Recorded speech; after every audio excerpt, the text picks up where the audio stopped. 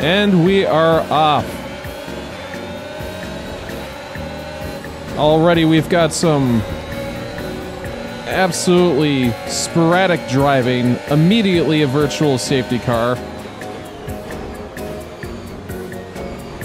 Being very much so on the lookout for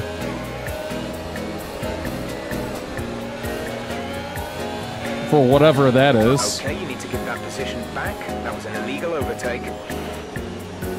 There, take. There you go. What is going on here? I have. Check your MFD for a new strategy option. th- This is absolute carnage. I can't even commentate what is going on right now.